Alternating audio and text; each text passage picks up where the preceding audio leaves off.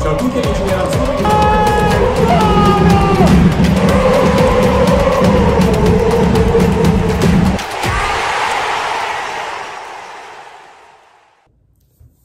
Ciao a tutti amici nerazzurri, buongiorno, sicuramente sarà un bel giorno, sicuramente starete facendo colazione e sicuramente sarà un'ottima colazione perché l'Inter anche ieri, tanto capitano spostati un po' perché se non ci sto,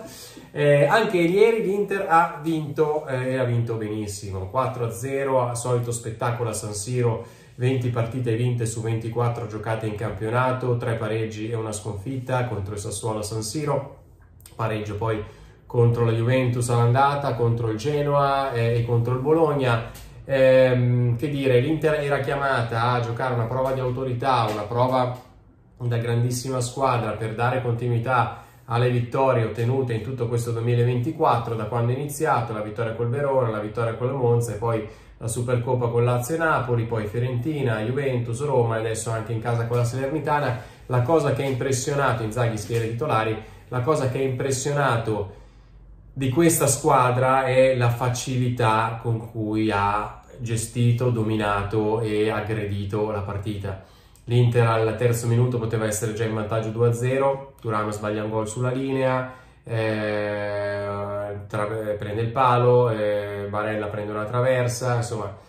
abbiamo veramente sparato verso la porta per tutta la partita finita solo 4-0, ma poteva essere usato molto più rotondo. La cosa che fa impressione prima di iniziare con le pagelle è che la Salernitana è vero, è ultima in classifica, è quello appena cambiato allenatore, tutto quello che volete, ovviamente c'è un abisso tra le due squadre, ma io non mi ricordo una partita in cui la squadra avversaria è stata in balia completa dell'altra senza mai superare la metà campo. Cioè, la Salernitana non solo non ha tirato in porta, ha tirato solo la punizione di Candreva alta,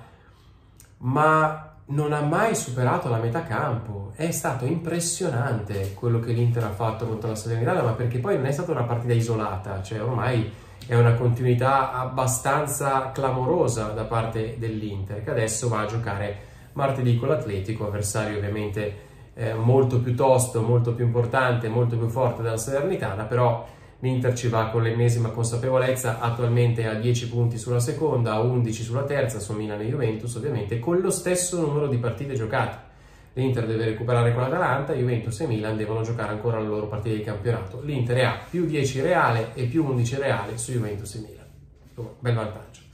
Comunque partiamo con le pagelle, credo che saranno delle pagelle un pochino banali perché cioè hanno giocato tutti alla grande, grandissima prova di squadra, bisognerebbe dare un 9 all'Inter, non c'è mai, non esiste la partita perfetta, la partita perfetta può essere una vittoria in una finale di Champions, eh, questa però è una partita senza considerare il valore dell'avversario che sfiora la perfezione, cioè se tu non fai mai uscire la tua avversaria dalla, dalla sua metà campo, mai non le permetti di fare tre passaggi di fila, è quasi perfetto, vinci 4-0, perfezione manca perché potevi segnare tutti i gol che, che, potevi segnare, nel senso che le occasioni create, invece non lo hai fatto. Comunque andiamo veloci con le, con le, con le pagelle, ma ripeto, saranno pagelle molto banali. Sommer, SD, Sommer fa lo spettatore, esattamente come l'abbiamo fatto noi, gioca qualche pallone col piede, ma, ma proprio sui retropassaggi, cioè, non si può dare voto a Sommer.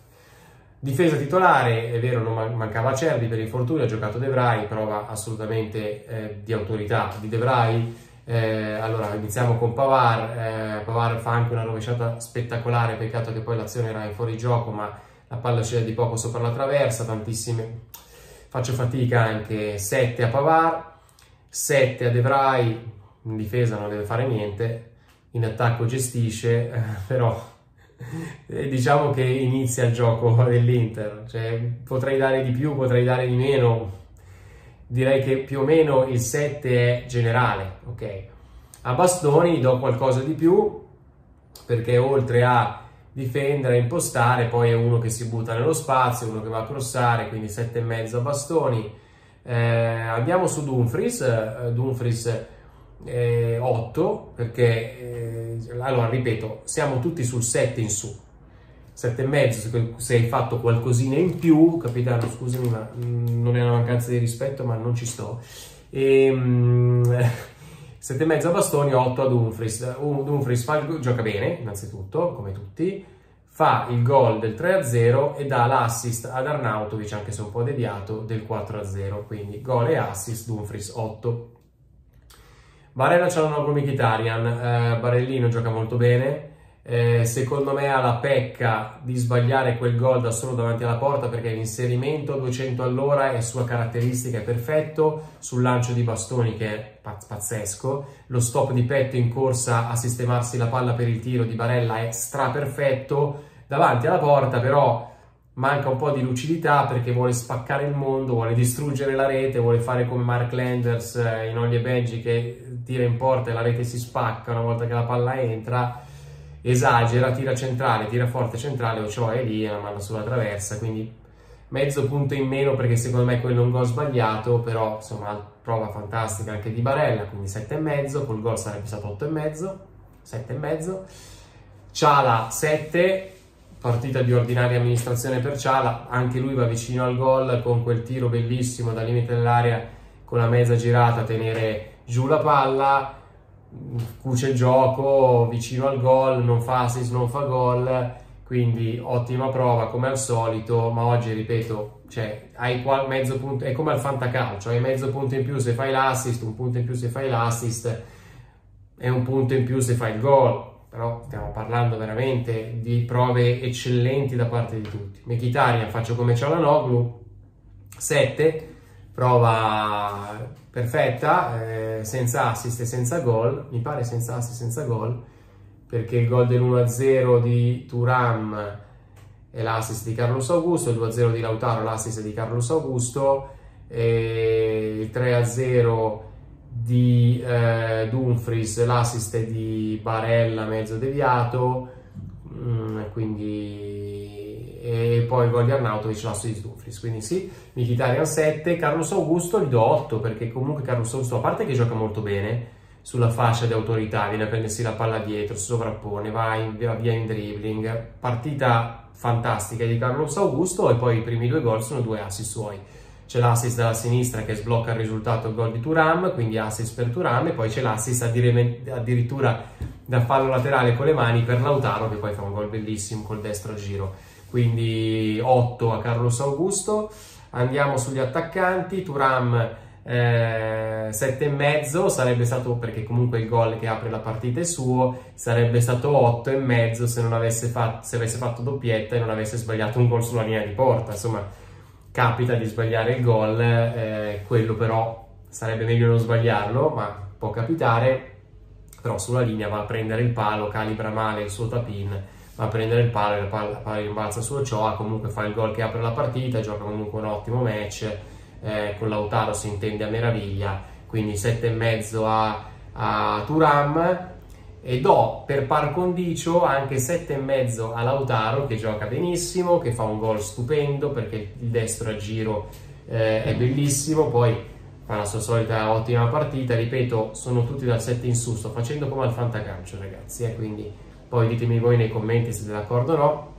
7,5 perché anche lui sbaglia un gol nel primo tempo sul cross dalla destra, adesso non mi ricordo se il cross era di Pavar, non mi ricordo, comunque arriva un cross orizzontale in area di rigore, lui al limite dell'area piccola tutto solo, eh, prova il destro con la palla che gli arriva in corsa, cicca la palla col destro, si incricca col sinistro, la palla gli rimbalza in mezzo alle gambe e la perde, quindi è umano anche Lautaro che intanto però ehm, arriva a 20 gol in campionato,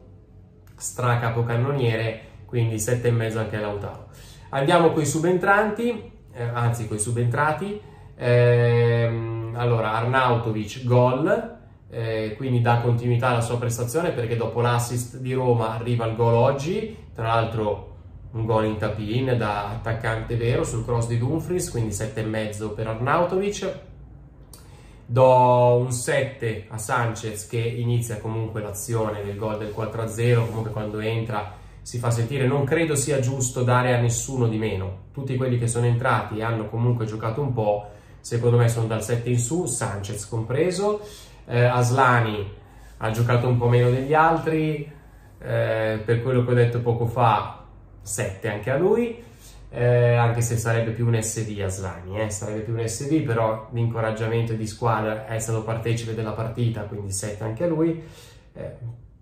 generoso, eh, passatemelo, dai, ok? Ehm, poi Buchanan, Buchanan, secondo me ha giocato molto bene, è entrato bene, 7, eh, un paio di dribbling, eh, forse un rigore subito non fischiato. Mi è piaciuto molto Buchanan, tra l'altro sulla fascia di sinistra l'ha fatto giocare Inzaghi che non è la sua fascia. Begli spunti, mi è piaciuto, ha i movimenti alla quadrato comunque, eh, confermo quello che avevo detto, ha i movimenti alla quadrato. E, um, uh, vediamo, scusate se mi sono dimenticato qualcuno, uh, mi pare forse Sanchez, Arnautovic, Aslani, Buchanan è Klassen, Klassen eh, su quello che dicevo di Aslani. Cioè, as, diciamo, Aslani e Klassen dovrebbero essere 2, 6 e mezzo, ok? Che possono essere elevati a 7 perché comunque sono entrati e hanno fatto il loro. Diciamo, allora, non è giusto dare a nessuno meno di 7, però chi ha giocato meno è giusto non paragonarlo agli altri. Quindi facciamo Klassen e Aslani 6 e mezzo, che comunque hanno fatto il loro dovere e l'hanno fatto molto bene. Inzaghi 10, non ho mai dato 10, non, non do quasi mai voto all'allenatore, però questa squadra su 20 partite, 24 partite, 20 vittorie, 10 punti sulla seconda, in Champions si era qualificato al, al terzultimo turno, al quarta giornata era già qualificato, la squadra gioca bene, segna tanti gol, va bene.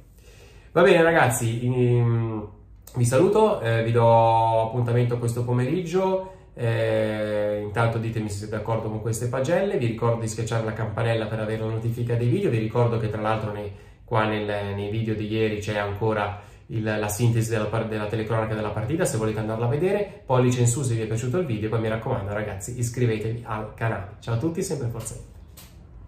Ciao a tutti amici della